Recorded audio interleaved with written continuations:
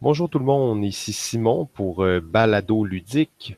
Avant euh, que vous commenciez à écouter ce premier épisode qui est réellement un pilote, donc la qualité euh, laisse peut-être un peu à désirer, notre notre rythme n'est pas bien entendu parfait pour le moment. On est encore en train d'apprendre comment ça fonctionne exactement un podcast. Je suis sûr qu'au moment où vous vous apprêtez à écouter cet épisode, qui est le premier, vous pouvez passer directement peut-être à l'épisode 2, 3 ou 4 s'ils sont déjà sortis, ce qui devrait être le cas. Comme ça, ça va peut-être vous donner une meilleure idée. Si vous avez un intérêt, revenez écouter cet épisode plus tard. Bonjour tout le monde et bienvenue à ce tout premier épisode de Balado Ludique, un podcast entièrement dédié euh, aux jeux en tout genre. Je suis avec euh, Jean-François Chrétien, un expert du jeu de société à Montréal. Bonjour Jeff. Salut Sim, ça va? Ben oui, ça va très bien. Et je suis Simon, dans le fond, et euh, on va présenter notre tout premier podcast aujourd'hui. Donc, JF, tu veux peut-être parler un peu du projet de podcast? Oui, exact. Ben, dans le fond, on avait, je pense que toi et moi, ça faisait longtemps qu'on voulait euh, partager nos connaissances sur le jeu. Ça fait quand même longtemps qu'on joue à des jeux et qu'on en apprend euh, de plus en plus. Donc, euh, on s'est dit, ben, le podcast, c'est la façon facile de rejoindre le monde et de pouvoir communiquer cette passion avec les gens. Donc, c'est un peu ça qu'on va faire dans les prochains épisodes espérons-le pendant plusieurs années. Euh, ça va être de vous parler de jeux, de différents sujets, différentes approches du jeu et un peu euh, euh, tous les sujets qu'on peut parler. Principalement, ça va être le jeu de société, mais on a des intérêts aussi autres, comme les, les méga games et les escape the room, si on veut. je ne sais pas si tu en as d'autres à rajouter à la liste, Simon. c'est sûr qu'il va y avoir sûrement quelques, quelques jeux mobiles, peut-être des jeux vidéo aussi. Euh, peut-être une petite entrée sur les sports alternatifs, ça pourrait être intéressant. ça peut aller un peu partout, mais je pense que tu as bien dit, euh, ça va être principalement sur les jeux de société qui dans le fond notre passion depuis les huit dernières années. Euh, donc je crois que ça va surtout tourner autour de ça. Oui, exactement. Moi, dans le fond, je, travaille dans le milieu du jeu de société. Je travaille au Randolph et je fais des activités pour les auteurs de jeux. Donc, je suis quand même assez actif. J'essaie de m'impliquer dans le milieu. Donc, euh, ça va être ces, ces insides-là aussi qu'on va partager euh, avec vous dans, ces émissions-là. Et ainsi que notre parcours tortueux de, de créateur, designer de jeux de société. Ouais, on va sûrement en parler un peu. Euh, hein. On va parler un peu, on va pas trop s'éterniser là-dessus, mais on va sûrement glisser quelques mots une fois de temps en temps. Exact. Il faut dire que Simon et moi, on se connaît depuis longtemps, puis on a souvent partagé des projets fait des projets et ben, c'est ça, on, est aussi assez de, créer des jeux et de, mettre de l'avant un de nos, jeux depuis plusieurs années. Donc, euh, euh, ça risque de, se glisser justement dans le sujet. Euh, et dans le fond, on, peut commencer à parler de notre premier vrai sujet, dans le fond, qui est le jeu d'introduction. Qu'est-ce qui nous a euh, amené à jouer à des jeux de société? Euh, on y joue, tu sais, dans le fond, parce qu'on y joue depuis qu'on est jeune, mais cette passion-là s'est découverte avec certains jeux à un certain moment de notre vie. Donc, c'est un peu euh, le sujet qu'on voulait traiter aujourd'hui. Oui, absolument. C'est sûr que quand. Là, maintenant, c'est peut-être moins fréquent parce qu'il y a de plus en plus de gens qui jouent à des jeux et tout ça, mais il y a comme huit ans, quand tu approchais quelqu'un et tu lui disais Hey, moi j'aime ça les jeux de société et tout, ils parlaient tous des classiques de notre enfance qui ont fait de nous des joueurs aujourd'hui. Donc, on pense bien entendu Monopoly et Risk, euh, qui sont possiblement les deux jeux les plus emblématiques de cette époque-là. Oui, ça reste vrai encore aujourd'hui. On se fait encore souvent dire ce genre de commentaires-là, mais c'est de moins en moins répandu puisque le jeu de société, ben, justement, les huit dernières années ont vraiment explosé euh, au Québec, mais en fait, vraiment pas juste au Québec, partout à l'international, en Europe principalement, euh, mais beaucoup aux États-Unis. Le Québec est en train de prendre le pas aussi, puis euh, c'est en train de grossir, puis on, le voit là, de, par toutes ces choses-là. Oui, absolument. Euh, tu as nommé quelques, quelques endroits intéressants. J'ajouterais à ça euh, le Japon, qui est pour moi quand même aussi euh, quelque chose dans ce moment qui est très actuel. Il y a beaucoup de, jeux qui sortent du Japon qui font qui ont beaucoup de succès à l'international. Oui, ça, reste quand même un peu récent, malgré tout. le Japon qui on, commence à voir ce qui, ce qui sort, ce qui se fait là-bas, mais c'était quand même un marché assez reclus moins accessible pour mettons les Nord-Américains euh, pendant plusieurs années, mais là, ouais, tranquillement, on est en train de, voir ce qui se fait de, un peu partout dans le monde. D'ailleurs, autant les Tchèques que les Allemands que les Français, on voit qu'il y, y a, cet engouement et il y a de la créativité dans le jeu de société un peu partout dans le monde. Oui, absolument, absolument. Puis en fait, je veux encore revenir au Japon. Je sais que j'arrête pas de revenir à ça, mais je trouvais intéressant, tu disais c'est récent et je trouve que ça coïncide bien avec la tendance des, jeux de party, donc les party games. Euh, on dirait qu'eux, ils ont un style vraiment particulier pour faire des, petits jeux simples. Ouais, très, très épuré et avec peu de matériel en général. Exact. Donc, des jeux qui s'apprennent vite, que n'importe qui peut jouer. Euh, donc, c'était juste pour euh, ramener un peu cette, cette tendance-là aussi par rapport au Japon et aux jeux en général. Oui, donc, évidemment aussi, on se fait parler de Monopoly Risque, mais de plus en plus, on se fait parler surtout des, nouveaux classiques, si on veut, comme Catan, Les Aventuriers du Rail, Carcassonne. C'est un peu le, Big Tree, si on veut. C'est les, trois jeux emblématiques euh, qui sont généralement sur toutes les listes que vous allez voir de jeux, euh, des, des, getaway games les, jeux, les meilleurs jeux d'introduction pour commencer à jouer à des jeux de société. Euh, c'est des jeux qui datent quand même de, plusieurs années. C'est début 2000 pour la majorité de ces jeux, mais c'est rendu bien avant ça, autour des années 90, je crois. Pour lequel? Attends. Catan, c'est 1995, euh, en fait. Ouais, c'est ça, exact. Ouais. Donc, c'est C'est un peu euh, le point tournant, là, dans le fond. Il y a, je considère qu'il y a un peu avant Catan et les jeux après Catan. C'est euh, quand même un point marquant là, dans, l'histoire du jeu de société. Et encore aujourd'hui, ben, Catan est joué, apprécié et acheté. ça reste une bonne introduction au jeu de société.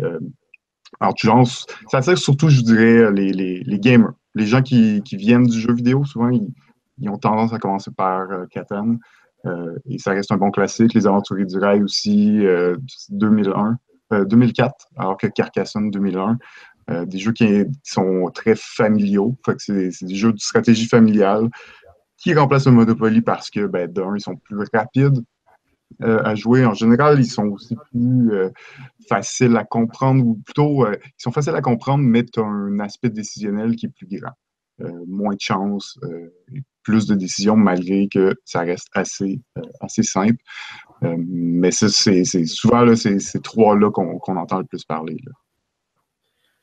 Ouais, c'est clair que on va pas rentrer vraiment dans la critique de ces jeux-là, mais bon, pour moi, Catan, ça demeure que je ne vais pas offenser trop de gens en disant ça, mais c'est sûr qu'il y a beaucoup d'extensions, mais pour moi, Catan, ça demeure un jeu qui est plus ou moins proche du Monopoly.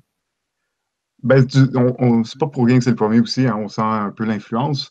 Euh, mais bon, c'est ça. il faut dire qu'il y, a beaucoup d'autres nouveaux classiques, si on veut, qui sont venus après ça. C'est souvent par Catan ou par ce genre de jeu-là qu'on va commencer, mais après ça, on va aller découvrir d'autres. Euh, je pense à d'autres classiques qui sont assez aussi euh, gateway, ben, c'est, euh, mettons, Dominion pour les jeux de, cartes, de deck building, ou Small World pour une variante à risque, si on veut, qui est un jeu de confrontation. De confrontation, exact. une mécanique assez différente, mais qui, a plus de, plus de stratégie, encore une fois. donc, il y, en a d'autres. Si on pense aussi à des trucs plus légers comme King of Tokyo ou Dixit, euh, c'est des jeux euh, qui sont plus accessibles par les jeunes aussi, donc euh, très facile à intégrer, qui jouent en général jusqu'à 6 joueurs. Donc, qui est quand même pas un jeu de party tout à fait, mais qui quand même s'adapte bien dans un contexte assez familial où on veut un jeu léger et pas trop se casser la tête et pas trop compliqué non plus. Ouais, non, absolument. Dixit, on s'entend que ça, c'est un jeu euh, qui est presque même un jeu de party. Là. Moi, j'ai la version où tu peux jouer jusqu'à 12. Ouais, ça, c'est dommage, ils la, font, ils la font plus à 12, là, là c'est 6. Ah ouais, avec limite. ok, ouais, c'est dommage parce que c'était intéressant quand même. Puis il y avait même des règles spéciales pour, euh, pour jouer à 12. Oui, tu, tu, pouvais voter deux fois. Ouais, c'est ça, exact. Puis tu votais pas pour celle du gars, tu votais pour celle que tu crois que les gens vont voter pour. Mais le, le maître de jeu avait la possibilité d'en supprimer une. Fait que tous ceux qui avaient voté pour celle-là étaient, euh, étaient éliminés par défaut. OK. Si je me rappelle. Ouais, c'était quand même pas pire. Mais bon, aussi dans les, dans les classiques, c'est sûr qu'on peut penser euh, à Pandémie dans les jeux coop, qui est aussi un autre gros pan des jeux de société. Euh, c'est un jeu là, assez introduction que tu peux trouver dans pas mal tous les magasins, dans toutes les listes justement de jeux d'introduction. Mais est-ce que tu trouves Pandémie. Euh, ben, D'un, j'hésitais parce que c'est pas si vieux que ça. Si je ne me trompe pas, c'est 2010. Euh, fait que c'est quand même un nouveau, mais on dirait qu'il est tellement rendu classique. Ça fait quand même plusieurs années qu'il est sorti. Pour moi, c'est rendu ben, un, des, plus vieux classiques. 2008. 2008, ça fait presque 10 ans, mais on sentait que le travail de marketing autour de Pandémie est exceptionnel. Ils ont réussi à à créer une, marque qui ont placé sur tellement de jeux, qui ont roulé de tellement de formes différentes, que ça, ah. ça en a vraiment fait un classique. Ben, je pense que le Legacy aide beaucoup à ça aussi. Hein. Ben, oui, absolument, c'est sûr. Legacy, ça c'était un, extrêmement un gros move. Mais juste le fait qu'il avait ramené euh, dans les conventions de jeu, tu, tu, te rappelles les tournois de pandémie à deux joueurs? Oui. Et il y avait comme 10 équipes, puis toutes les équipes jouaient le jeu en même temps. C'était pandémie normale. Puis pandémie normale, je l'avais pas vu. Je l'avais pas vu dans les conventions depuis 5 ans. Et le boom, 10 personnes qui jouent en même temps, un gros setup, des, des trucs de carton avec euh, le visuel de pandémie dessus, avec des maîtres de jeu. C'était quand même assez avant-gardiste comme truc. Euh, j'ai pas vu ça souvent, ce genre de ben, format-là. On n'a pas vu souvent des, des, des, formules de tournois de jeux coopératifs faut dire. Et, comme Pandémie est pas le premier, mais mettons le premier à, faire des, une marque telle que le jeu coop est devenu populaire après ça, un peu, euh, ou du moins plus populaire qu'il l'était. Euh, mais reste que Pandémie, ils l'ont. Ils, poussent à fond. Ça, c'est vrai. mais un tournoi de jeux coopératifs, c'est très original comme idée. Puis, en fait, ils font encore le tournoi. Ils poussent encore. Puis le, en fait, il y, a, des tournois un peu partout durant l'année et le gagnant peut participer à une, finale nationale et le gagnant de la finale nationale est envoyé à SM pour la finale mondiale. La, finale internationale. Ah, c'est cool ça. Ouais, Donc, c'est encore, euh, ça marche là encore. Ça, c'est l'année passée, on, a tenu des, tournois au Randolph et, ça s'est passé. Donc, euh, ça se passe encore à plusieurs endroits. Il, il pousse encore. C'est pas fini. Euh, ça reste un jeu euh, encore très bon euh, aujourd'hui. Puis c'est un bon pour commencer. Je trouve un petit peu difficile dans le sens que c'est pas le plus facile pour commencer les jeux coop. Euh, généralement, je vais plus recommander d'aller vers l'île interdite, surtout si on est plus, ou moins habitué aux jeux de plateau, aux jeux de stratégie de plateau. Je vais plus commencer avec l'île interdite. En même temps, un jeu coopératif, ben, souvent c'est coopératif. Donc, on s'entraide à la table, puis les, règles. Euh, ce que je trouvais avec Pandémie, c'est que c'est un jeu qui est très facile et le fun à montrer à des gens pour les, leur faire une introduction. Mais c'est pas nécessairement un jeu que tu achèterais à quelqu'un qui n'a pas de jeu. Euh, ouais, je sais pas si ce que je veux dire. Il s'explique facilement, mais le, de quelqu'un qui n'est pas habitué de lire des règles, de prendre ça, de lire les règles, ça va être un peu compliqué. Oui, exactement. Mais comme c'est un jeu coopératif, tu expliques les règles, tu joues avec eux, ben, ça facilite vraiment l'approche au jeu. Puis c'est vrai qu'il n'est pas compliqué le jeu. en réalité, il faut juste comprendre. C'est un nouveau système, les gens, un système de, action point euh, qui n'est pas commun dans beaucoup de jeux, mais il l'est. cette mécanique-là existe depuis quand même longtemps, mais ça reste que les gens ne sont pas habitués à jouer à ce genre de, mécanique-là. En plus, un jeu coop, c'est un jeu que tu dois jouer pour le jeu, t'assurer de tourner les cartes au bon moment. Ça peut être un peu compliqué peut-être pour les nouveaux joueurs? Ouais, c'est euh, non, c'est ça. C'est assez, euh, assez nouveau là, comme, euh, comme concept.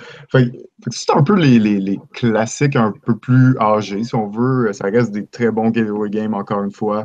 Euh... Excuse, je, je voulais pas t'interrompre, mais je me demandais, dans, dans tous ces jeux-là qu'on vient de parler, là, si, mettons, tu devais donner un, un cadeau à un nouveau joueur, ça serait, ça serait lequel jeu que tu, tu vois que c'est une valeur sûre? Ouais, ben ça, c'est un peu compliqué parce que ça me prend personne pour vrai. Euh, dans le sens que ça va dépendre à qui je donne ce cadeau-là. Euh, si je pense que la personne est un petit peu plus habituée au jeu ou euh, au moins aux jeux vidéo, qui a besoin de quelque chose un peu plus profond, ben, je vais y aller avec Stone Age, Seven Wonders, Small World, Pandemic, dépendamment s'il veut des jeux de confrontation ou si ça l'intéresse des jeux coop. Sinon, quelqu'un vraiment qui a pas beaucoup de jeux, puis on, s'entend qu'il ne reste pas de jouer à des, tant des jeux de stratégie. Pour commencer, ben, Dixit me semble être un choix assez automatique. King of Tokyo aussi serait dans, mes options. Ok, cool. J'étais juste curieux d'avoir ton avis là-dessus. C'est très intéressant. Puis toi, tu, tu, irais avec quoi?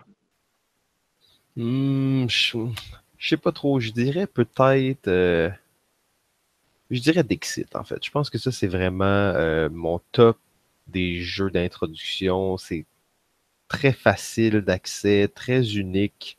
Euh, ça peut plaire à vraiment pas mal tout le monde. Euh, il y a tellement de gens à qui j'ai fait jouer ce jeu-là qui l'ont acheté par la suite. Ouais, mais ça, ne me surprend pas. C'est vrai que c'est accessible pour vraiment n'importe qui, puis très, très facile à jouer. Là. Ok, cool. Euh, alors, je vais te laisser euh, peut-être nous parler de jeux un peu plus récents maintenant. Les nouveaux je vais parler. Euh, ouais, c'est ça. J'ai pas une grosse liste de ça. Probablement que tu peux m'aider à, la rendre plus exhaustive, mais c'est sûr que dans, dans le jeu de société, il y a, le Spiel, un, gros concours de jeux de société. Il remet un, des prix pour le meilleur jeu de société à chaque année. C'est un concours qui existe depuis les années 70. C'est comme les Oscars du jeu de société, dans le fond. C'est ça, exact. C'est vraiment, il y en a beaucoup, là, des, des, compétitions, des, des concours euh, qui récompensent les meilleurs jeux de, l'année. Il y en a un peu partout dans le monde, mais c'est vraiment le spiel qu'on va plus regarder en général parce que c'est souvent eux qui laissent une trace ou que les jeux restent long terme. Tu sais, quand on parle de Catan, ben oui, c'est un spiel. Euh, c'est Ticket to Ride, Carcassonne aussi, ce sont des spiels.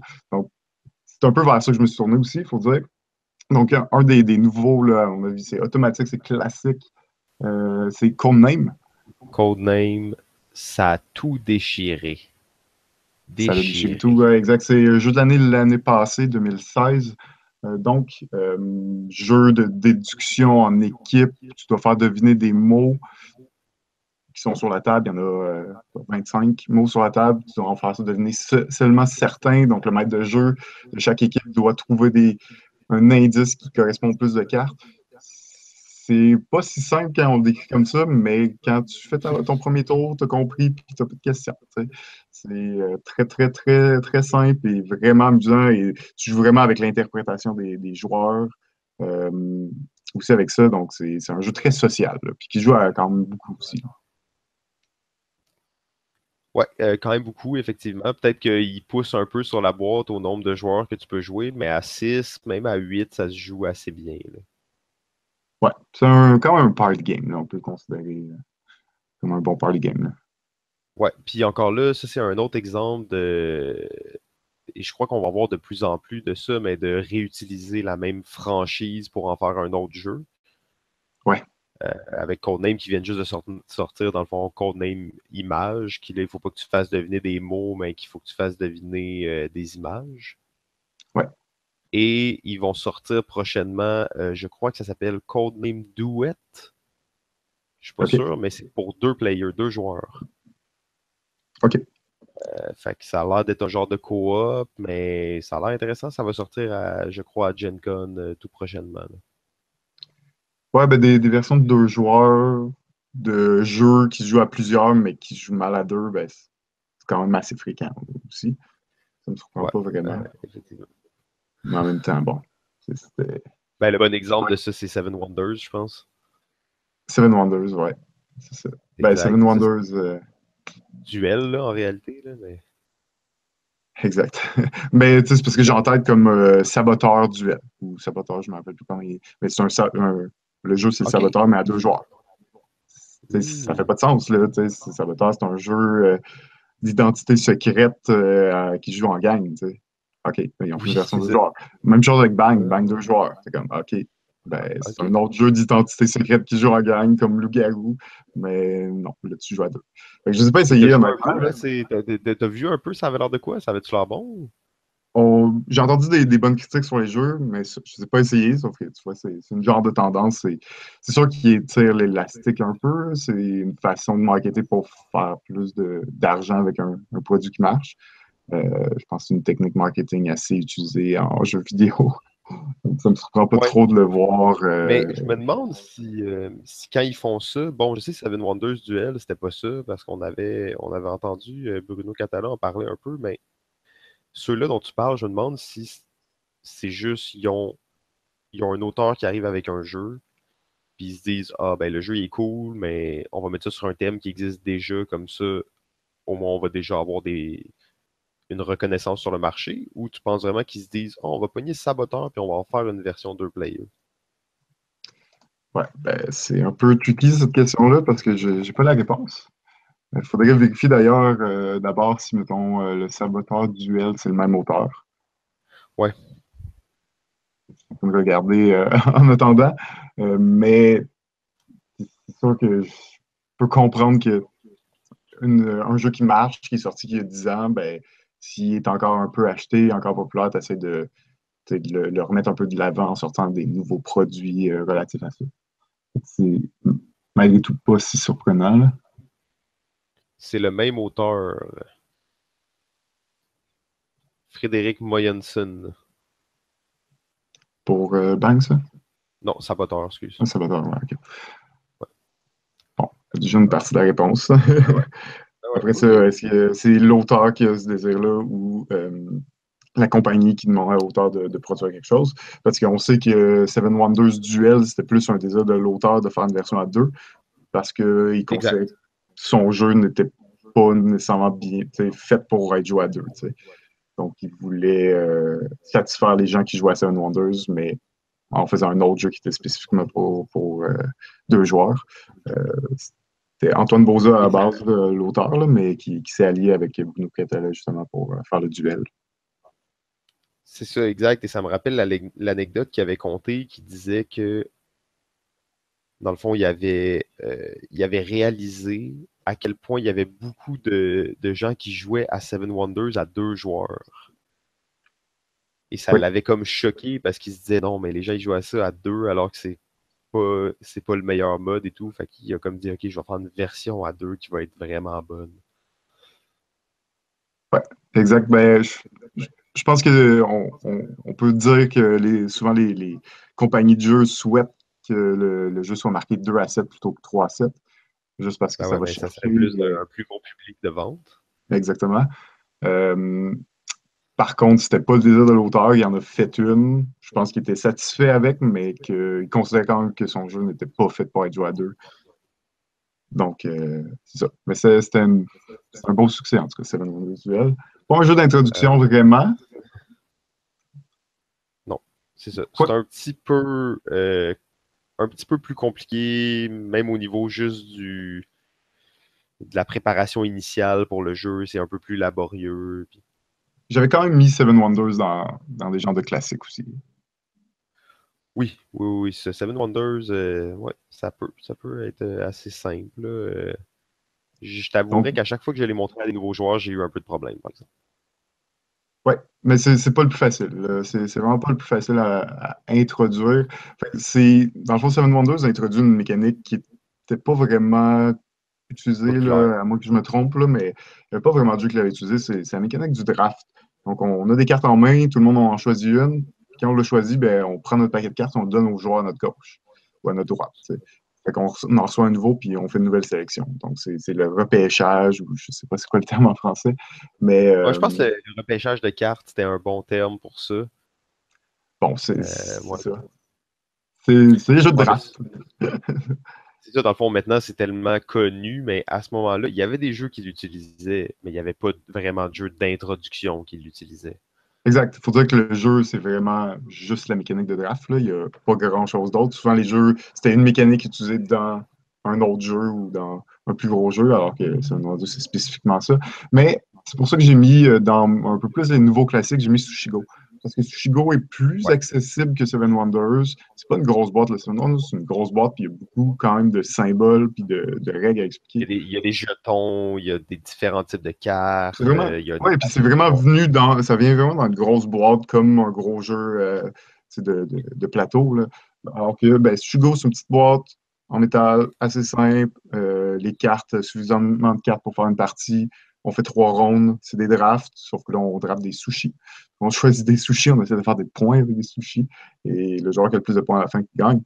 C'est vraiment un meilleur jeu pour introduire cette mécanique-là, du moins. C'est très plus accessible. C'est un 5 joueurs, mais ils ont sorti la version Party qui joue jusqu'à 8. Donc, euh, c'est quand même assez intéressant pour ça. Ah, moi, je trouve que ça, c'est réellement un chef-d'œuvre. Ce jeu, euh, je le trouve absolument fantastique.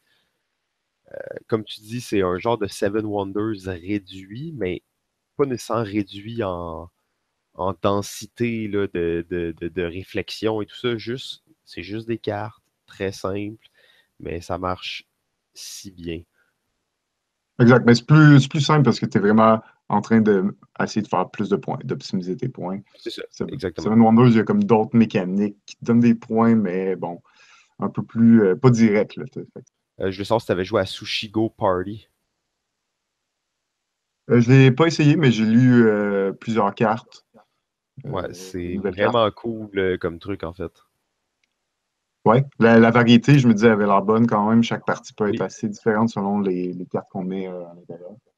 Exactement. En gros, pour les gens qui ne l'ont pas vu, c'est que c'est le même jeu que Sushigo. Donc, il y a un paquet de cartes, il y a une phase de repêchage de cartes dans le but de faire des points.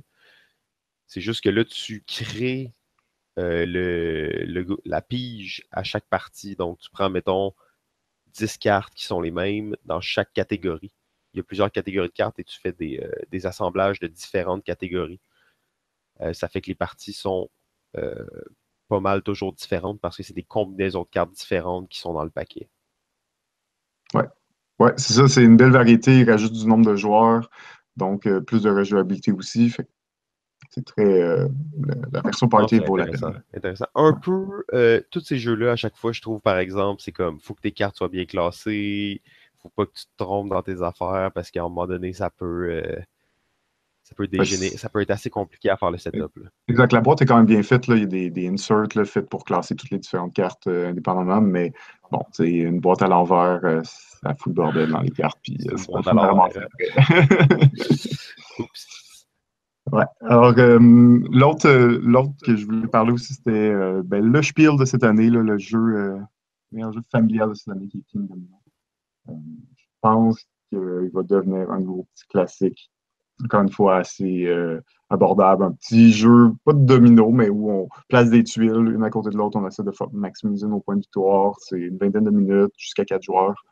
Euh, c'est très, très simple. Un bon euh, entre deux grosses parties ou un bon petit jeu d'apéro pour commencer.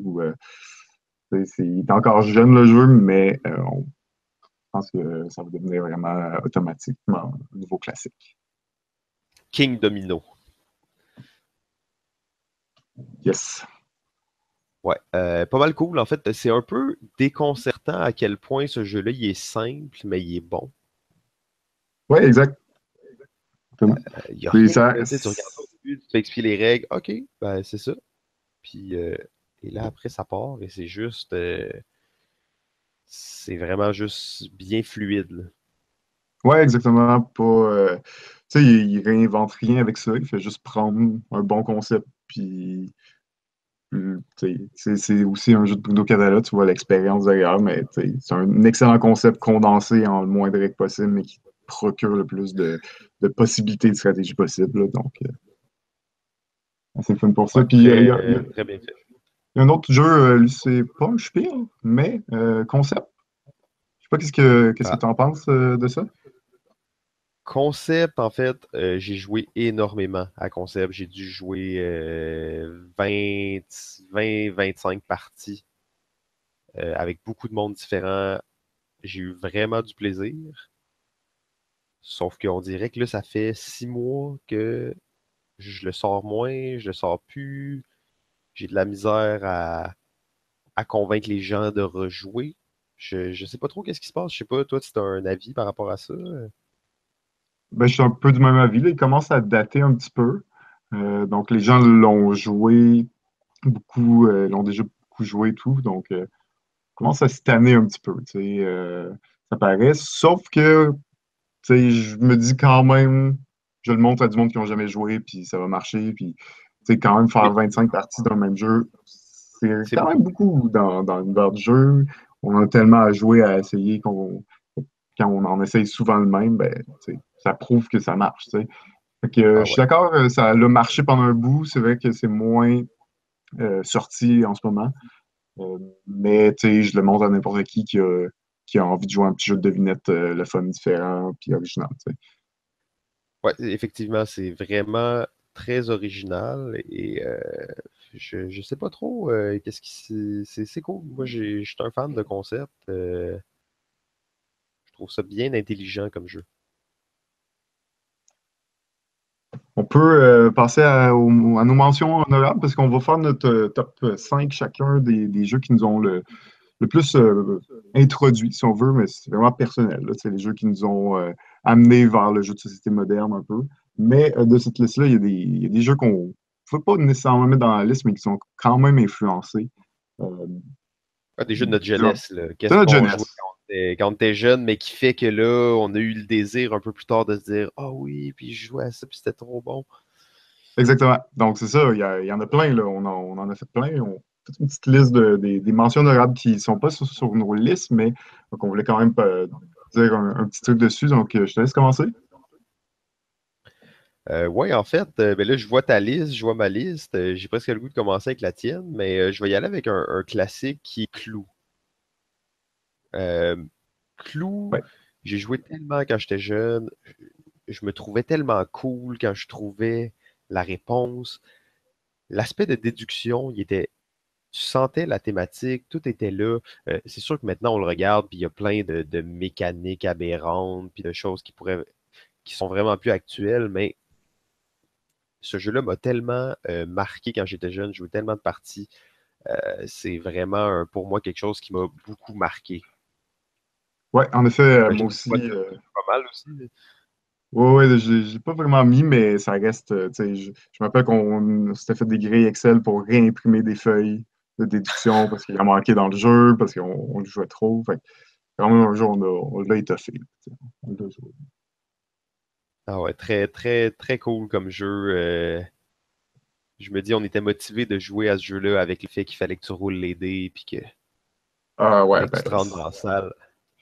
C'est ce qui fait que malheureusement qu'il n'est plus trop jouable maintenant, là, mais euh, on s'en rendait pas trop compte à l'époque. C'était quand même moins pire que le Monopoly. Oui, oui, exact. Euh, moins pire que le Monopoly, absolument. Qui est euh, sur ma liste, bien entendu, mais on y parlera plus tard. J'essaie de faire ça un peu chronologiquement. Là, on est vraiment dans la, tendre enfance. Ah ouais, ok. Ben, peut-être Melbourne. Melbourne, je pense ah. que jeu de cartes classique. L'as du volant. Là, voilà les coups fourrés. Euh, les coups fourrés. Ouais, c'est un jeu, euh, ouais, c'est un jeu de take that si on veut, ou t'es un peu chez les autres, tu leur fais des crevaisons puis t'essaies de, de te rendre. C'est euh, tellement chien comme jeu, tu sais. Exactement. ma mère, elle m'empêchait d'avancer pendant quatre tours. Ah ouais, puis quand tu piges pas ta lumière rouge, t'as ta réparation, il te faut ta, ta, lumière verte. T'as ta réparation, t'es prête à partir, t'as pas ta foutue lumière verte. comme. Dommage. Quel jeu. Puis euh, ben, je le mets un peu dans la même catégorie qu'Uno. C'est quand même différent, mais j'ai quand même pas mal joué à Uno aussi. Euh, ça ressemble beaucoup à des jeux de levée. Hein, on doit on doit se débarrasser des cartes. Puis encore une fois, c'est un peu de fouet, là. Pige 4 cartes, pige 2 cartes, change de couleur.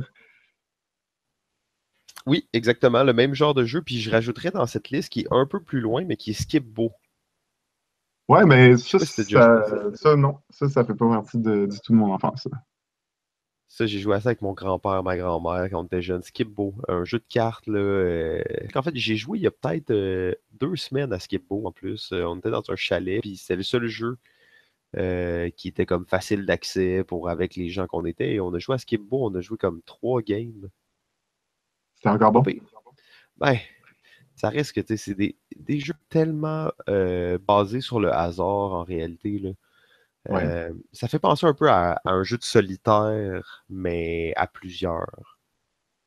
Oui, tu as quelques décisions, mais elles sont mineures. Ça fait, ça fait beaucoup penser à tous les jeux de cartes. Euh, c'est comme euh, le trou de cul, le 21, le, pas le 21, mais le.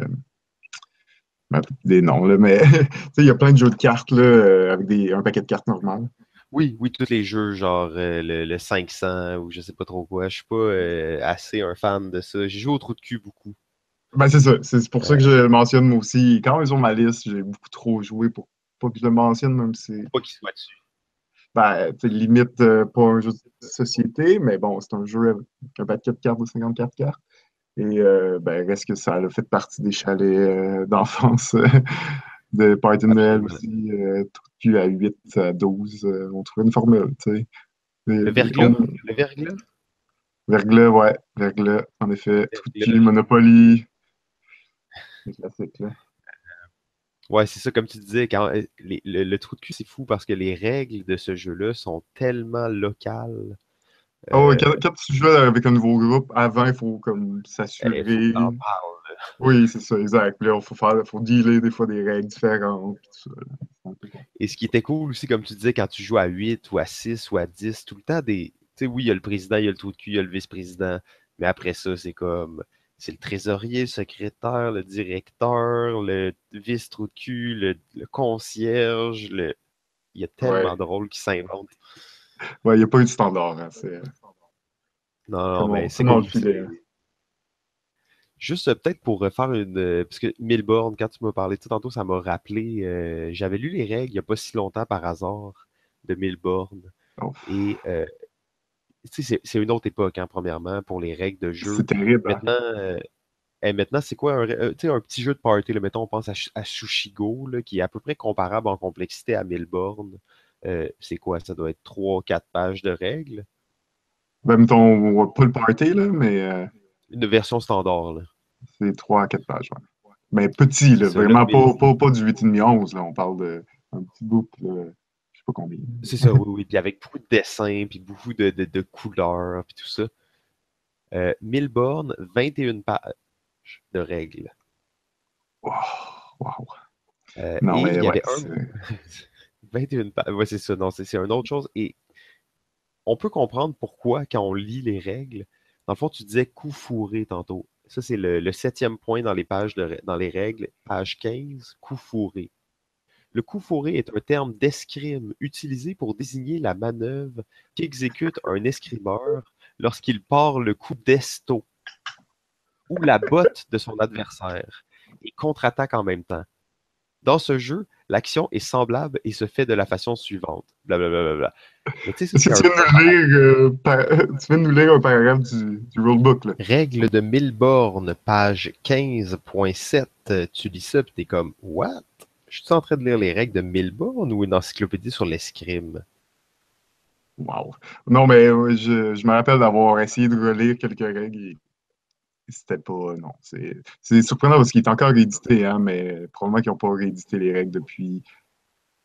Bon, je regarde la liste, je vois qu'il nous en reste pas mal. Peut-être qu'on va devoir couper un peu, mais il y a un, jeu vraiment particulier dont j'aimerais parler. C'est un jeu assez unique. C'est euh, le jeu Atmosphère. Atmosphere. Atmosphere. Je joue à ça, j'imagine. Oui. Euh, ça, c'est un jeu. D'ailleurs, euh, tu sais, Arcade Montréal, ils ont fait des soirées atmosphère et il était comme full house, complet. Euh, il fallait que les gens y amènent leur propre jeu d'atmosphère pour pouvoir jouer parce qu'il n'y en avait plus assez. Ça, ça a vraiment marqué l'imaginaire, ce, ce jeu-là. Euh, pourtant, c'est un roll and move bien normal. Ah oui, il n'y a, pas de jeu derrière ça, vraiment. C'est vraiment la cassette qui fait tout. Là. En même temps, je dis ça, puis c'est complètement faux. Le jeu, il est, à un moment donné, tu peux être exclu du jeu puis devenir un genre de renégat qui fait juste, tu peux plus gagner, mais tu peux faire perdre tout le monde. Puis les autres sont là, ils collectent des clés. Mais c'est ça, c'est juste un roll and move. Ça revient à ça. La thématique, elle est, elle est puissante.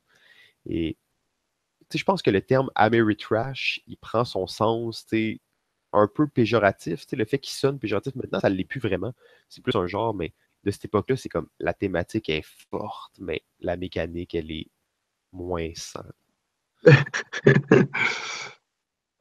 premier jeu avec. Euh, ben, non, je dis ça, mais. C'est clairement pas le premier jeu, mais c'est le jeu avec une vidéocassette VHS qui a le, plus marqué, euh, je pense, l'imaginaire. Il y en avait sûrement d'autres, des, des, jeux dans ce style-là, mais c'est en effet, là, ça, ça l'a marqué. C'était le premier euh, genre de jeu hybride. C'était dans les premiers jeux hybrides. On, subit un autre type d'hybridation de nos jours, mais la VHS, hein, c'était le début de ça. Oui, oui ben dans le fond, ça fait penser aux jeux qui utilisent une app, là, les jeux d'escape en particulier, qui utilisent une app sur ton téléphone où il y en a plusieurs qui sortent. Mais ça, sur un VHS, c'était pas pire. ouais, c'est ça. Moins de, moins de possibilités un peu quand même. Stop! À qui le tour, Bandastico? Bon, avec euh, un, petit dernier que, que, tu voudrais mentionner avant qu'on tombe dans, dans le top 5? Ben, j'ai pas le choix d'y aller avec Monopoly parce que euh, moi, j'ai, je ne fais pas partie des enfants qui ont été détruits par Monopoly. Euh, dans le sens que j'avais pas Monopoly chez moi et mes parents ne, m'ont jamais fait jouer à Monopoly. Dans les parties de famille, je n'ai jamais joué à Monopoly. Euh, j'ai découvert, et je, mais tu sais, je savais que ça existait, et j'avais d'ailleurs Monopoly Junior qui était une version extrêmement légère de Monopoly. Et ça, je trouvais ça cool. J'ai joué beaucoup, mais je me rappelle vraiment peu. Mais j'ai découvert Monopoly quand j'avais 17, 18 ans. À peu près. Euh, on a découvert ça sur la rive sud avec euh, Simon, Joël, Gab, toute la, la, bande de la rive sud. Et en fait, ce qui m'a vraiment permis d'accrocher, c'est que dès les premières parties, on a euh, modifié les règles, en fait. Ouais, Et on a changé le jeu complètement en explosant le système d'échange, en ajoutant un nombre de tours prédéfinis. Euh, donc, ça a vraiment fait varier mon expérience que j'ai eue de Monopoly. Pour moi, Monopoly, c'était un très gros jeu de négociation euh, avec une mécanique terrible qui faisait que tu pouvais perdre à cause du hasard. ouais, vous, avez, vous avez senti le besoin de le modifier euh, le, jeu rapidement. Puis moi, j'étais à cette époque-là, j'étais encore dans la phase de jaillit Monopoly. De rébellion euh, à, Monopoly. Ah ouais, ouais, grosse rébellion sur ça. ça, ça, ça passait Mais euh, avec les, règles modifiées, avec les échanges, déjà, il y avait un attrait plus intéressant. Déjà, j'y jouais alors que j'aurais refusé absolument de jouer à une game de, de vrai Monopoly. Oui, c'est ça. Tu étais quand même là. Puis je me rappelle, on pouvait voter une loi qui euh, faisait des, des liens entre deux chemins de fer, puis tu pouvais te téléporter d'un chemin de fer à l'autre. c'était quand même cool. C'est allé loin. Hein. oui, oui, c'est allé très loin. C'est allé très loin, effectivement. Euh, c'est allé très loin. Ça fait un bout qu'on n'a pas joué d'ailleurs. Peut-être un, jour, on va être dû pour une partie de Monopoly euh, extrême. Oh là là. OK, on va tomber dans le top 5 de nos euh, meilleurs jeux d'introduction. Numéro 5. Mon numéro 5 est Cold War CIA versus KGB. Euh, c'est un jeu à deux joueurs, un peu de bluff. Euh, honnêtement, je ne me rappelle pas beaucoup du jeu. Tu peux peut-être plus en parler que moi. Je pense que tu as joué il n'y a pas si longtemps. Exact, oui, j'ai eu des grosses séquences de ce jeu-là. Je joue encore, je l'ai encore dans ma bibliothèque. C'est, je trouve que c'est un bon choix pour ta liste. Euh, il, aurait pu être sixième dans la mienne. Euh, c'est un jeu à deux joueurs, euh, guerre froide, où dans le fond, on va essayer d'obtenir de l'influence sur des territoires.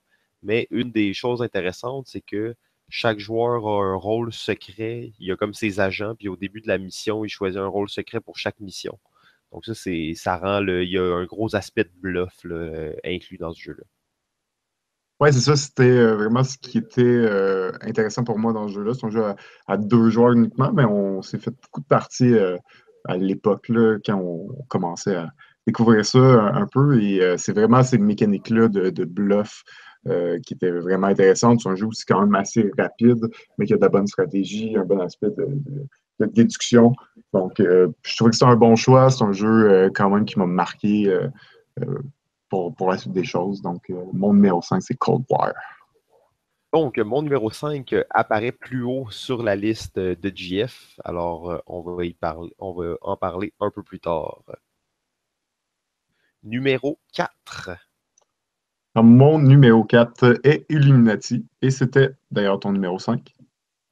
Exactement. Donc, on va pouvoir en parler maintenant. Je te laisse le plaisir d'introduire ce jeu. Alors, Illuminati, euh, c'est un, vieux jeu. Là. Si, je ne me trompe pas, c'est dans les années 70, même euh, ce jeu-là.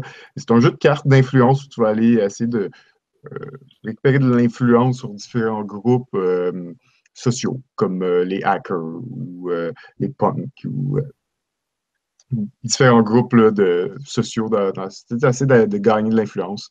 durant la partie, jeu quand même de cartes assez compliqué pour, euh, pour l'époque, mettons. C'était, pas le, plus simple qu'on avait joué.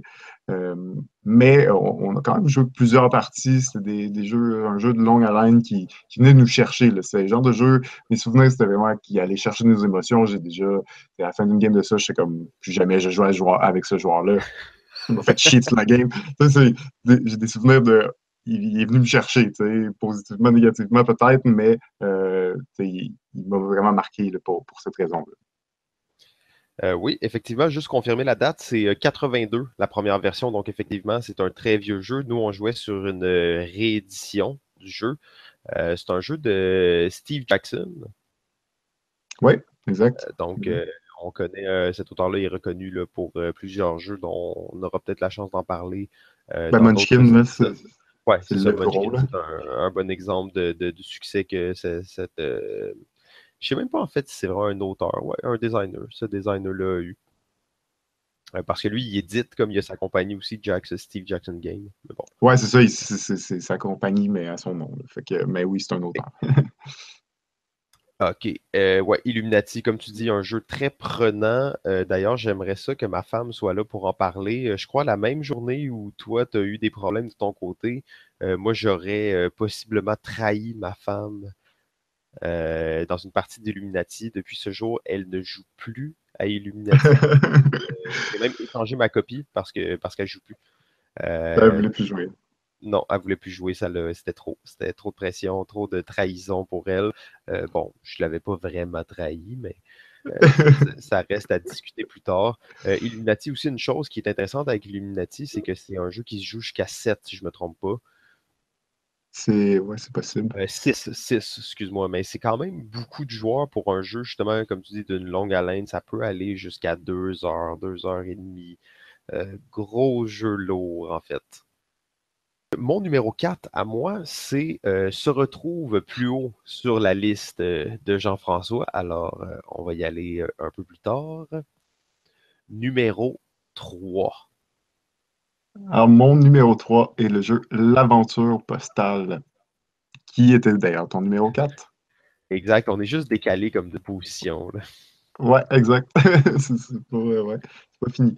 Mais euh, L'Aventure Postale, euh, un jeu, euh, ça c'est pas mal dans les premiers le board game, si on veut, avec un, un, plateau, avec une structure de tour plus conventionnelle, si on veut c'est d'ailleurs un jeu qui a été quand même assez prisé, assez euh, reconnu quand il est sorti. Euh, c'est un jeu de, route. En fait, je me rappelle surtout du bailli dans, ce jeu-là. Mais un peu qu'on l'a sorti énormément, puis c'était vraiment dans les premiers le vrai board game qui n'était pas un déplacement avec des dés et tout ça, euh, un risque, si on veut. qui, est aussi haut dans la liste, qu'on l'a quand même joué beaucoup, ce jeu-là à l'époque. Absolument. C'est en fait le premier jeu euh, que j'ai eu, que j'ai acheté euh, dans, la nouvelle ère moderne des jeux. Donc, c'est le premier jeu que j'ai acheté. D'ailleurs, je me demande, est-ce que ce jeu a gagné le Spiel ou était nominé pour le Spiel? Un des deux. Mais euh, c'est un jeu qui a été très, très populaire à l'époque. On parle de là de 2006. Ouais, ben, j'ai dans mes souvenirs qu'il a gagné, mais c'est possible qu'il ait juste été nominé. Absolument, je, te confirme à l'instant. Donc, c'est un gagnant du Spiel de Jarez 2006. Euh, euh, donc, très bon. Et c'est un jeu, en fait, qui, euh, même si on le joue plus souvent, encore aujourd'hui, a vraiment une bonne qualité. C'est un jeu qui n'a pas mal vieilli. Il reprend vraiment l'esprit des euros, network building game, placer des maisons stratégiquement, essayer d'avoir des points de différentes façons. très actuel, encore une fois, je trouve, comme jeu, surtout en voyant les jeux qui sortent dans les dernières années. Oui, exactement. c'est un jeu qui, qui est plus tant reconnu, ben pas reconnu, mais dans le sens qui est plus tant euh, parler. C'est pas un qui a marqué tant que ça. Je pense que c'était aussi parce qu'il est un petit peu plus compliqué que, que d'autres. Euh, peut-être Ticket to Ride, mettons, c'est un genre de Ticket to Ride un peu plus compliqué. C'est ça. il est un petit peu moins accessible, un petit peu moins fluide. Je pense que ça a contribué là, au fait qu'on entend un peu moins parler. Euh, mais tu c'était ton premier jeu, jeu acheté et c'est pas pour rien, tu l'as fait conseiller, si je me trompe bien, pas au, au c'était vraiment pas une déception. Puis c'est vraiment, je dirais, moi, le jeu qui m'a fait rentrer dans l'art des jeux modernes. Euh, c'est vraiment le, le, jeu qui m'a fait comprendre, OK, les jeux, c'est pas juste euh, Monopoly puis quelques jeux obscurs, c'est, c'est vraiment un... Il y a autre chose, il y a, il y a, de la, il y a de la décision à prendre aussi dans les jeux, puis euh, tu as, des choix à faire, puis tu as, le contrôle. C'est un petit peu la, différence avec avant, c'est que Monopoly t'acceptais que tu n'avais pas de contrôle sur le jeu. Tu le subissais un peu. là. Tu as quand même du contrôle, même si malgré tout, tu subis le jeu de plusieurs façons. Exact. Et tu vois, là, on en parle, je regarde des photos, puis je suis comme, oh, j'ai juste envie de jouer. Là, ça fait sûrement 3-4 ans que j'ai pas joué à ce jeu-là, mais je regarde les photos, puis je suis comme, je, je, veux me faire une partie, là, je, veux, je veux jouer maintenant. Là. Ouais, exact. Et si j'avais, je connaissais pas le jeu, qu'on me disait, ça, ça vient de sortir cette année, je pourrais le croire. C'est ça, exact. On dirait que ce jeu-là, il, il, revient, puis je le réalise au moment où on en parle là. Euh, en tout cas, l'aventure postale, Turn and Taxi 2006, euh, ça vaut le détour. Plus, plus j'y pense, là, plus je suis comme, OK, euh, excellent, excellent jeu. Euh, mon numéro 3, maintenant, euh, ne se retrouve pas sur ta liste, JF, donc on va pouvoir en parler maintenant. Il s'agit de Loup-Garou. Oui. Ouais. Euh, Loup-Garou, c'était avant la grosse mode, hein, Loup-Garou. C'était là depuis. C'était avant, justement, avant qu'on entende parler de Catane puis tout ça.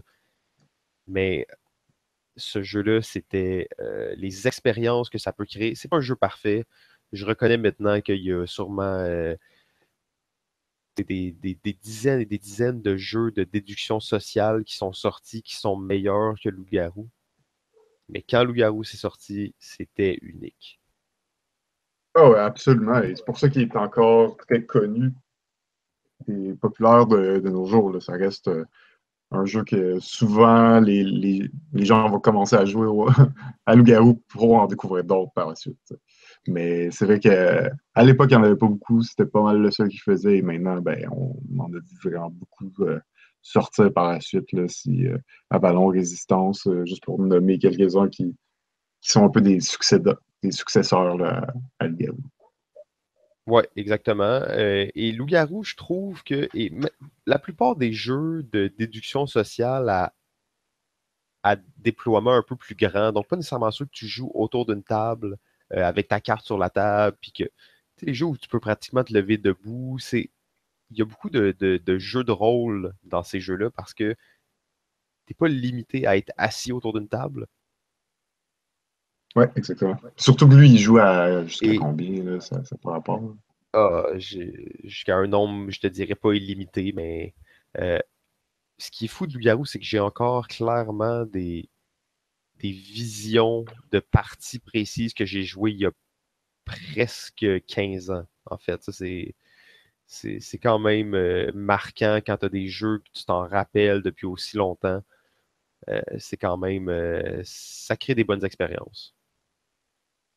Ouais, exactement. J'ai un petit peu moins joué, moins, j'étais moins fan de ce genre de jeu-là avant. mais en effet, ça, ça laisse des, souvenirs, ce, jeu-là. On fera un épisode spécial euh, Réminiscence ou euh, pour parler là, des, parties de loup-garou qui ont eu lieu dans le passé. Là. On va pas trop, euh, trop en parler maintenant. On va garder du contenu pour les, prochains épisodes. oui, exactement. numéro 2. Alors, mon numéro 2 se retrouve sur la liste plus haut de Simon, donc on va en parler tantôt. Ouh, numéro 2. Donc, mon numéro 2, c'est le jeu Innovation. Innovation, qui est un jeu de cartes assez unique dans sa forme. la première fois que je suis allé à la récréation dans le temps, Joël, qui est dans le fond un des, fondateurs du Randolph, quelqu'un de très important pour les jeux de société à Montréal et au Québec en général, animait des journées de jeu. Je ne le connaissais pas, j'avais entendu parler de ça par hasard. J'étais allé seul. Et il y avait un autre gars qui était le seul et il m'avait matché avec lui. Puis il a dit Hey les gars, euh, il y a un jeu qui vient de sortir qui est assez cool. Euh, ça s'appelle Innovation. J'ai joué à ça et c'était euh, c'était sublime là, pour moi. ça m'a ça m'a complètement énergisé. Ah oui, un coup de foudre. Encore à ce jour, c'est le jeu que j'ai joué le plus. Euh, on calculait un peu l'autre fois combien de parties on a joué. On, doit être rendu autour de 300 parties physiques, euh, ce qui est même pas comparable à aucun autre jeu que j'ai joué euh, de manière physique, en fait. un jeu absolument génial. On se rappellera à ce moment-là, ça c'était en 2009-2010. Et maintenant, on est rendu avec cinq expansions d'innovation, la copie de luxe vient à peine de sortir. Le Kickstarter vient d'être livré et on a déjà joué une vingtaine de parties. Ça fait même pas un mois. Euh, superbe jeu qui évolue dans le temps. Euh, je sais que toi, t'es pas. en fait, tu es sûrement le, hater numéro un de euh, ben là, je ne vais pas, je le, le, maudire, mais je ne vais pas y jouer non plus. Pas, je euh, comprends que c'est pas, pas ton genre de jeu, puis c'est pas pour tout le monde. Euh, et un jeu, un petit conseil que je voudrais dire juste comme ça sur le jeu, c'est que c'est un jeu de, de, 2 à 4 joueurs, et même la version de, de Asmodee, je crois, elle est de 2 à 5 joueurs. Euh, aberration. Aberration. Innovation, c'est un jeu de cartes qui se joue à deux. si vous l'achetez, si vous voyez le jeu, voyez-le comme ça. C'est un jeu de cartes qui joue à deux joueurs, un jeu de confrontation pure. Le seul mode que vous pouvez accepter à quatre joueurs, c'est de jouer en équipe, deux contre deux. Euh, très bien, on n'a pas joué beaucoup, mais ça, c'est quand même intéressant. Ouais, tu, as surtout joué à deux joueurs, puis ça te permet de faire des, parties aussi plus rapides, parce que 3-4, ça peut être vraiment long. Mais c'est surtout, c'est plus rapide, mais c'est surtout, euh, comme la plupart de ces jeux de cartes-là, quand tu rajoutes, c'est des jeux de cartes de confrontation, quand tu rajoutes d'autres joueurs, ce que tu viens d'ajouter, c'est du, temps d'attente entre, euh, les, tours, donc tu joues moins souvent. Mais aussi, tu viens rajouter une grande part euh, de chaos non désiré. Parce que toi, tu joues, habituellement, tu joues ton action, l'autre joue son action, tu réponds, il te répond. Donc, c'est un échange, un peu comme dans tous les jeux de stratégie abstraits à deux joueurs, comme les échecs. Mais quand tu es rendu à trois ou à quatre, ça devient tellement chaotique que tu fais ton tour et quand c'est à toi de jouer à nouveau, la partie n'est plus la même. Et Innovation, c'est déjà un jeu assez chaotique au départ. Euh, donc, je trouve que tu perds vraiment l'aspect stratégique du jeu. Oui, il y a son attrait une fois de temps en temps de jouer une partie à 4, mais euh, moins de 5% du temps, disons. Euh, numéro 1. Ah, mon numéro 1, c'est le jeu Megawatt Electro Manager, ou, ben, mettons en anglais parce qu'il est plus connu, c'est Power Grid Factory Manager. On ne parle pas du Power Grid ou du, mégawatt connu, on parle de d'une autre, d'un autre jeu, en fait, qui est quand même complètement différent, à part que ça parle encore d'industrie, euh, qui est Factory Manager, dans lequel on va euh, construire euh, nos, notre usine. En fait, on va remplir notre usine d'ouvriers, de, matériaux et de, machines qui vont nous permettre de faire de la production de, palettes et de boîtes. En gros, on essaie d'être le plus efficace dans notre gestion d'entreprise et essayer de faire le plus d'argent. C'est un jeu euh, qui m'a hautement marqué parce que, comme tantôt tu, disais, un jeu qui t'a euh, amené vers le jeu moderne, ben, pour moi, c'est Power Factory Manager qui l'a fait. Euh, même si l'aventure postale a été assez influent, il m'a un peu préparé à, la suite. C'est vraiment celui-là qui m'a convaincu que, ah ouais, le jeu de société, ça peut vraiment être vraiment bon, vraiment intéressant, vraiment stratégique. Euh, je trouvais que j'avais le contrôle puis que ça amenait des, une thématique assez, euh, ben, assez variée, assez différente euh, de, ce qu'on peut voir normalement. Puis je trouvais que je sentais aussi la thématique dans le jeu-là, même s'il est très euro et un peu plein de mécaniques un peu différentes. Il faut dire que c'est un, un, jeu de Friedman Freeze et ils sont pas toujours faciles à, comprendre ces jeux. -là. Non, mais c'est vrai que celui-là, il, y a une belle simplicité, je trouve. Euh, c'est vraiment séparé en phases. Hein. Fait tu as la phase 1, 2, 3, 4, 5 de chaque tour, puis ça roule comme ça. Euh, donc, puis, comme tu dis, l'objectif, c'est de faire du cash. Euh, tu construis des machines, tu entreposes des boîtes, puis c'est ça, tu sais, c'est assez simple bizarrement, c'est une, thématique qui m'a vraiment plu à ce moment-là. Mais en fait, ça, ne m'étonne pas. Il faut dire que notre groupe en général et toi en particulier, euh, on apprécie beaucoup les jeux de gestion, SimCity, tous ces trucs-là. Les jeux avec des. Pas les thématiques nécessaires de combat ou de. de les thématiques comme plus Fantastique. Ouais, ben les, les jeux de, de, pick-up and delivery, de, gestion de ressources, c'est une thématique qui m'intéresse. Plus qu'une thématique de, l'espace ou euh, médiéval, mettons. Ouais, c'est quelque chose de très comme ah, je fais mon usine, puis je vais l'optimiser, puis mes employés vont être bien, puis je vais produire beaucoup de poids, puis mon électricité va, me coûter cher. Ouais, euh, mais c'est un très bon, un très très bon jeu en fait. Euh, je me doutais bien que c'était ton numéro un parce que avant ça, tu étais, un peu récalcitrant au hobby. Là, je ne veux pas euh, partir de rumeurs ou rien. Là. Ah, mais c'était, le traumatisme Monopoly. Là, ça, ça, ça m'a gardé loin de ça là, longtemps. longtemps, effectivement. Monopoly, combien de joueurs sont, sont dormants en attente là, de, de se faire réveiller de leur malédiction? là?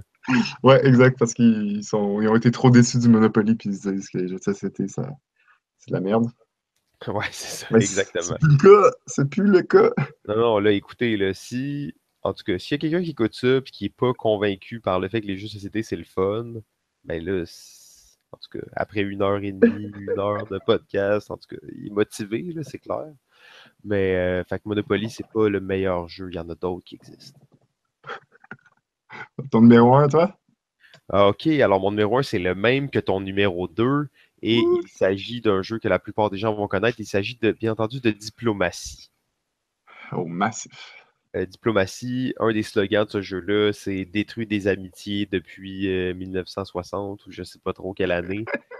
Euh, par contre, il faut dire que justement, c'est plus une genre de légende urbaine, l'histoire que ça détruit des amitiés. tout. Je peux croire qu'il y en a quelques-unes qui ont été détruites, mais ça ne devait pas être des très bonnes amitiés. C'est un jeu qui fait chier. Tu peux te faire trahir, tu peux être mal. c'est un gros jeu de trahison. C'est normal que ça crée des tensions. On parlait de jeux qui, qui venaient nous chercher, là, qui. Ben, ça, c'en est un. C'est un jeu qui. Puis, c'est aussi. Je pense que s'il est aussi haut sur, aussi haut sur nos listes, c'est aussi que c'est pas un, petit jeu. On a rarement joué en bas de 10 heures à ce jeu-là. on a rarement joué en d'un coup, en fait. Souvent, on le jouait dans, dans un chalet où là, on dormait là, on se réveillait le lendemain matin. Puis là, c'était comme, OK, là, il faut recommencer. Ouais, on faisait juste pas dormir. Là. On, dormait pas beaucoup, effectivement. On dormait pas beaucoup. Et c'est un jeu unique aussi parce que ça reste que c'est un des jeux les plus simples. C'est euh, très simple, ouais. C'est sûr que les règles, bon, sont un peu mal faites. C'est un vieux jeu, mais le jeu, là, c'est ultra simple. C'est euh, très simple, mais toute la complexité vient dans la nature humaine, si on veut, et donc dans les relations et dans l'interaction entre les joueurs, les, euh, les deals qui sont faits, les, trahisons. Donc, c'est vraiment, on sent quasiment euh, médiéval où on se fait des alliances puis on se trahit. Mais euh, c'est plus le début du 20e siècle, si des pré-première guerre mondiale. Donc, chaque joueur joue un pays. Et c'est un jeu de guerre, hein. c'est un jeu de confrontation pure. Tu as des bateaux, tu as des unités de terre, et le but, ça va être de s'emparer d'un certain nombre de territoires pour remporter la partie. Euh, ce qui est assez unique avec ce jeu-là, ça frôle avec le jeu de rôle. Parce que la plupart du jeu ne se passe pas euh, sur le plateau, mais bien dans votre environnement de jeu. Donc, c'est un jeu où les gens vont quitter le plateau de jeu pendant une certaine, période de temps pour aller discuter entre eux en secret. Donc, tu vas aller te cacher dans une pièce, tu vas aller dans la salle de bain, parler avec quelqu'un en chuchotant. Euh, et après cette période de discussion, tout le monde revient, écrit ses actions sur un papier et donne les papiers secrètement tous en même temps. Ça, ça veut dire que tu ne sais pas quelle action l'autre joueur a faite euh, avant que, que tu aies découvert en même temps que tout le monde toutes les actions de chaque, de, chaque personne. Alors, tout le monde remet ses actions en même temps. Fait que si moi, je t'ai dit, ah oui, je vais pas aller t'attaquer euh, dans la mer Noire, je vais te la laisser, la Black Sea, t'inquiète pas. Et finalement, je décide d'y aller. Mais toi, tu vas le savoir juste après que tu décidé toi aussi qu'est-ce que tu allais faire. La Black Sea, on laisse pas ça à n'importe qui, là. C'est important. la Black Sea. Ah, bah, euh, complète, c'est en fait sur la Black Sea. Oui, la Black Sea, ok, tu y vas pas, moi non plus. Les deux y vont. je me rappelle, toi euh, et AP, vous êtes euh, combattus sur la Black Sea pendant des années, en fait. Ouais, c'était pas mal ça qu'on faisait, ouais. Et ça, c'est un jeu où l'expérience est extrêmement forte, en fait. Euh, ça rappelle un peu le feeling des méga games qu'on connaissait pas du tout à l'époque. Euh, les méga games qui sont des gros jeux avec 70 personnes, des jeux de politique et tout ça. De... Il y en a plein de types. On va avoir la chance d'en parler euh, assurément dans d'autres épisodes, mais ça rappelait ça vraiment le côté jeu de rôle où tu es un personnage. Hein. On, s'est beaucoup costumé quand on joue à la diplomatie, on incarne des personnages. Euh, ben c'est ça, diplomatie, un jeu où vraiment le contact avec euh, les autres joueurs est vraiment important. Si tu t'imposes pas, si tu ne demandes pas des rendez-vous au monde, euh, c'est, tu n'auras pas ta chance de t'exprimer, puis tu pourras pas. Oh, les gens vont te manger.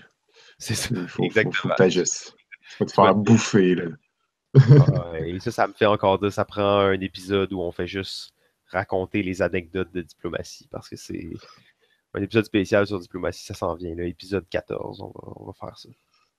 Ouais, Game en ligne aussi était pas pire. Mais bon, on va y revenir. ok, on va y revenir, c'est bon, c'est bon, on va noter ça. Bon, ben c'était ça, c'était ça le top 5. Je pense que ça euh, fait pas mal le tour. Euh, J'avais une petite dernière question euh, pour toi. Je me demandais, dans le fond, est-ce que tu. Ça, c'est comme des jeux qui nous ont amenés vers le jeu de société, ils nous ont rapprochés de, cette passion-là, mais est-ce que tu les joues encore, ces jeux-là? Qui sont dans ton top 5.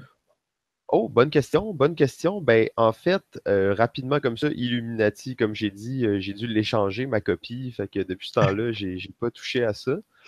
L'aventure postale, je n'ai pas joué depuis longtemps, sauf que peut-être que le fait d'avoir parlé de ça peut me ramener dans ce jeu-là. Et si c'est aussi bon que je me l'imagine maintenant en me rappelant comment c'était bon, euh, peut-être que je vais y jouer plus souvent.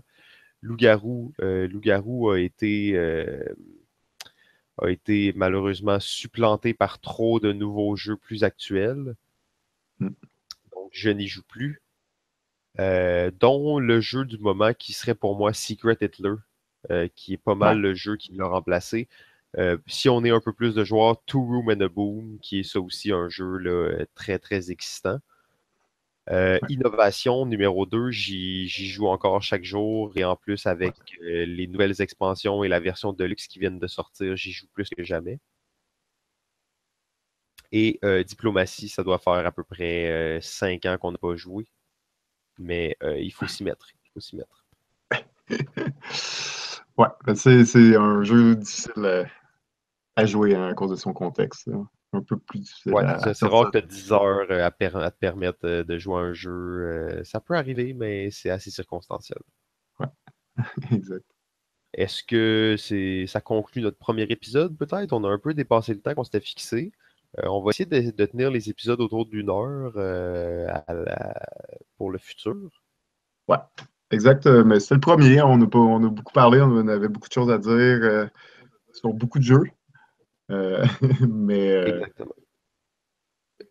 Exactement. Donc, j'espère que, ça, vous a plu. On va essayer d'améliorer notre parler et notre structure au fil des épisodes.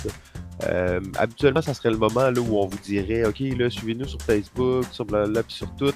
là, toutes nos plateformes sociales sont à peine créées. Euh, on va attendre d'être rendu à l'épisode 2-3 avant de s'investir un peu plus là-dedans. Mais euh, restez alerte et euh, si vous avez aimé ça, vous pouvez sûrement trouver l'épisode 2 assez facilement. Il devrait être déjà sorti. OK, ben ciao tout le monde et continuez à jouer.